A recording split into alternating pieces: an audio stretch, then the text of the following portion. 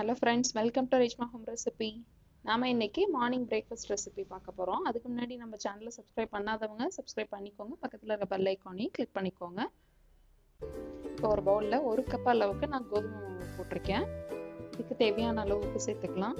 ஒரு ரெண்டு table spoon oil விட்டுட்டு இதை ஃபஸ்ட்டு கலந்து விட்டுக்கோங்க. கலந்து விட்டதுக்கப்புறமா கொஞ்சம் கொஞ்சமாக தண்ணி ஆட் பண்ணிக்கலாம். சப்பாத்தி மாவு பதத்துக்கு நல்ல மாவை பிசைஞ்சு எடுத்துக்கலாம்.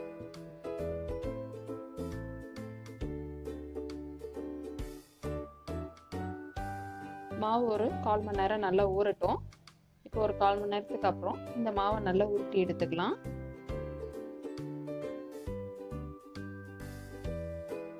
நான் ஃபுல்லாக எல்லா மாவையுமே வச்சு உருட்டி எடுக்க போகிறேன் இதை வந்துட்டு நம்ம ரவுண்ட் ஷேப்பில் கட் பண்ணி தான் எடுக்க போகிறோம் அதனால ஃபுல்லாகவே வச்சு தேய்ச்சிக்கலாம். இந்த மாதிரி ஒரு மூடி ஷேப் வச்சுட்டு நம்ம வந்து கட் பண்ணிக்கலாம்.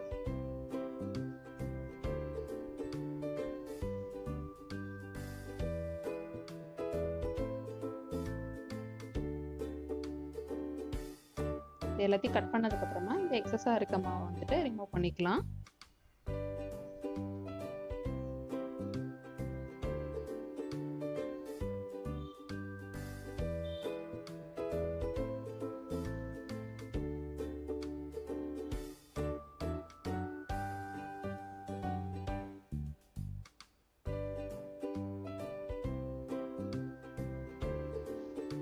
இப்போ இதில் ஒரு ஷேப் பண்ணி காமிக்கிறேன் பாருங்க. இந்த மாதிரி ரெண்டையும் ஒன்றா அட்டாச் பண்ணிட்டு நடுவில் இருக்கிறதையும் ஜாயின் பண்ணிக்கலாம்.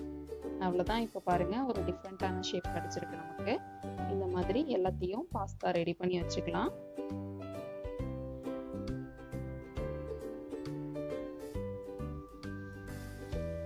இந்த மாதிரி ஹோல்ஸ் இருக்கும்போது நம்ம செய்கிற மசாலா வந்து இது ஆட் ஆகும். அப்போ வந்து டேஸ்ட் பண்ணும்போது நல்ல டேஸ்ட்டும் சூப்பராக இருக்கும். இப்போ வந்து தண்ணி வந்துட்டு ஒரு மூணு கப் அளவுக்கு நான் வச்சுருக்கேன். இது பாயில் ஆகட்டும் இதில் கொஞ்சமாக கலருக்காக மஞ்சள் பொடி போட்டிருக்கேன். தேவையான அளவு உப்பு சேர்த்துக்கோங்க. கொஞ்சமாக ஆட் பண்ணிக்கோங்க. ஆல்ரெடி மாவுலேயும் நம்ம உப்பு போட்டிருக்கோம். இது நல்லா பாயில் ஆனதுக்கப்புறமா நம்ம ரெடி பண்ணி வச்ச பாஸ்தாவை இதில் ஆட் பண்ணிக்கலாம். நம்ம பாஸ்தாவை போட்ட உடனே பாருங்க எல்லாமே உள்ளே போயிட்டு அடியில் தான் வந்துட்டு செட் ஆகுது. இது எல்லாமே நல்லா குக் ஆகினதுக்கப்புறமா மேலே வந்துட்டு வரும். அந்த ஸ்டேஜில் வந்துட்டு நாம் இதை வெளியில் எடுத்துடலாம். பாருங்கள் இப்போ நல்லா பாயில் ஆகிடுச்சு இப்போ இது எல்லாமே மேலே வந்திருக்கு. இதை வந்து இப்போ வெளியில் எடுத்துடலாம். இப்போ வந்துட்டு இதுக்கு மசாலா ரெடி பண்ணிக்கலாம். இப்போ ஒரு பேனை ஹீட் பண்ணிட்டு ஒரு மூணு டேபிள் ஸ்பூன் ஆயில் விட்டுட்டு ஒரு மீடியம் சைஸ் வெங்காயம் வந்து கட் பண்ணி வச்சுருக்கேன். அதை இதில் ஆட் பண்ணிக்கோங்க. வெங்காயம் நல்லா ஃப்ரை ஆனதுக்கப்புறமா இஞ்சி பூண்டு வந்துட்டு நான் தட்டி வச்சுருக்கேன். அதையும் இதில் சேர்த்துக்கலாம்.